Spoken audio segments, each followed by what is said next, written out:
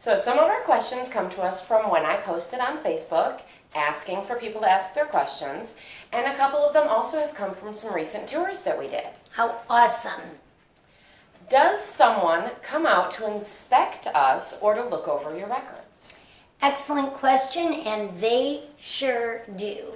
State and federal both come out, they look at your facility, they see if you meet with the guidelines as far as pens, caging, um, how well your animals are taken care of.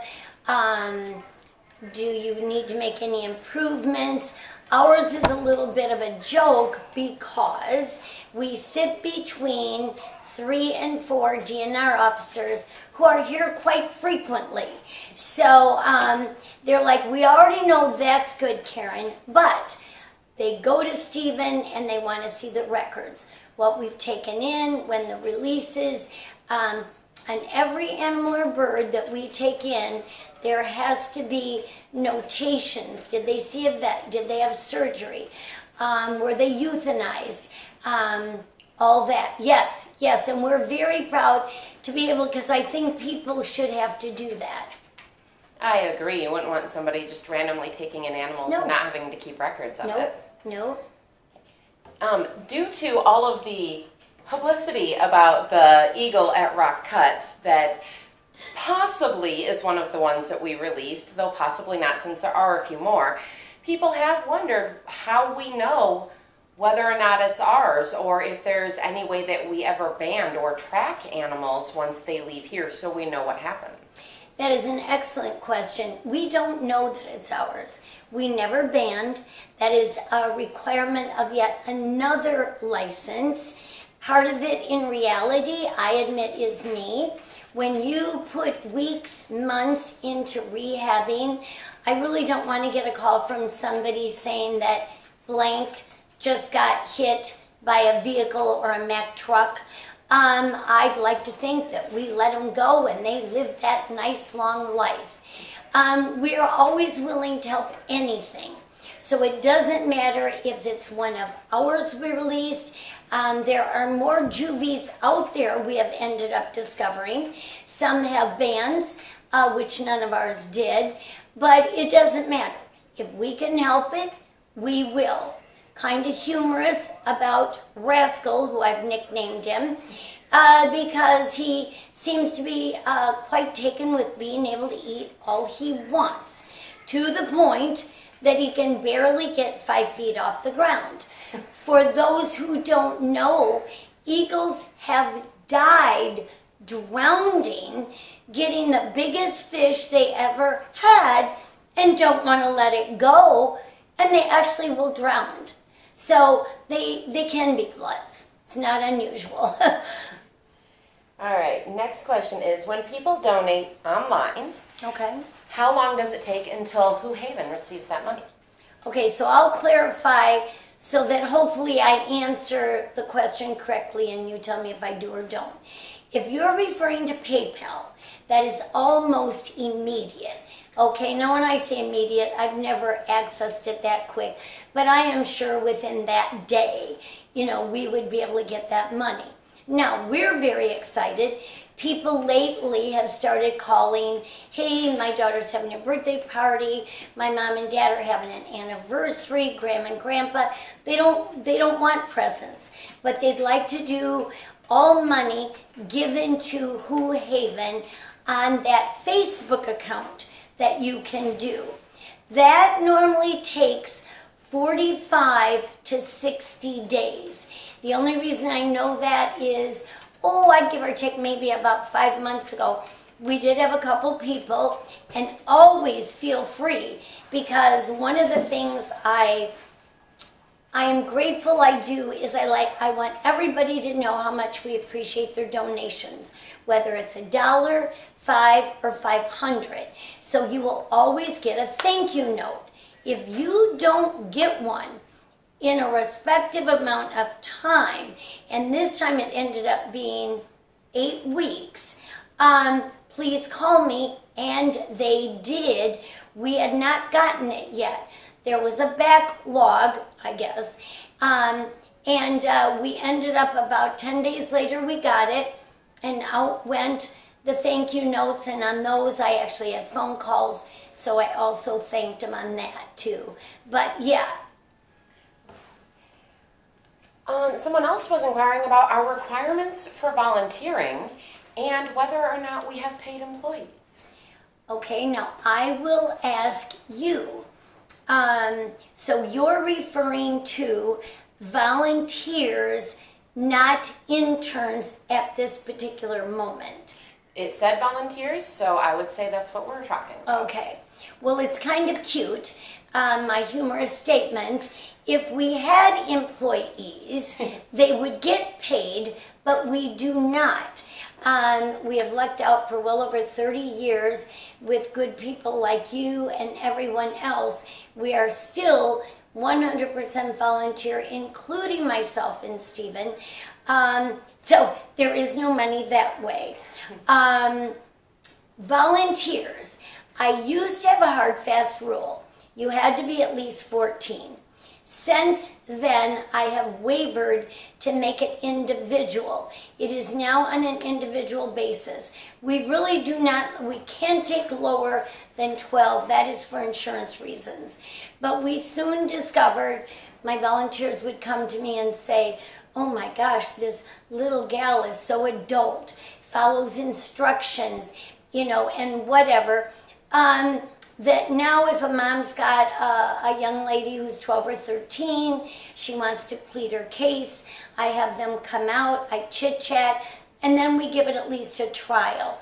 Honestly i do not believe i've ever had to let someone go um, because that's usually how awesome they are.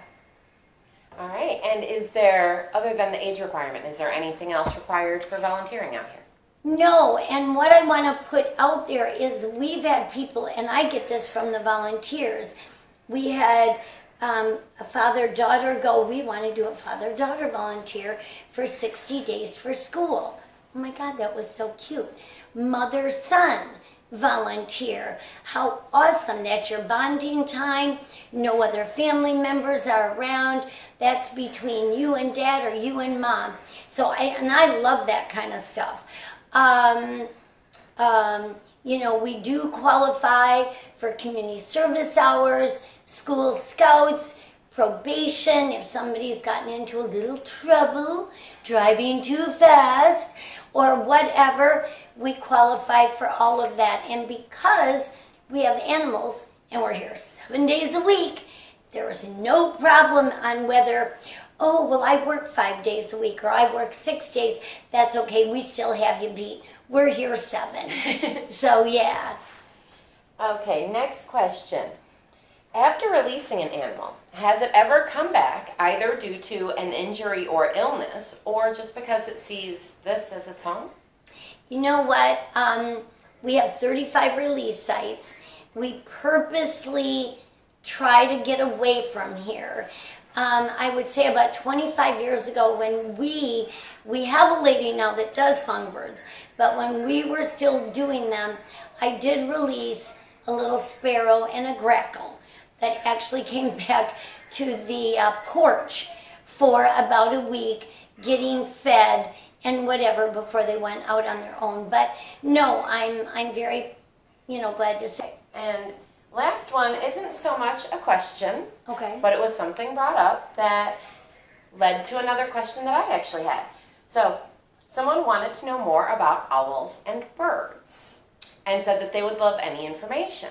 So, would you be okay with doing a series of videos of facts about different animals that we have out here at Hoo? Oh my gosh, Maribel, that is such an awesome idea. I would love that. And if you would like to fit into that, you know, we can give ours, but three questions that that everybody, you know, I'll give the one everybody says, oh, owls can turn their head all the way around. No, they can't. I won't answer that completely now, but they can't. But yeah, would love to.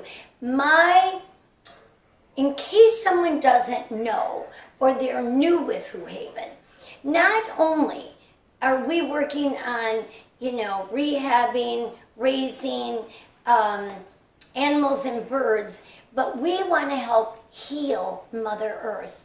You know, um, for the kids that are 10, 20, I want Mother Earth to be so pristine when they hit 60 that they're like, whoa, this is awesome.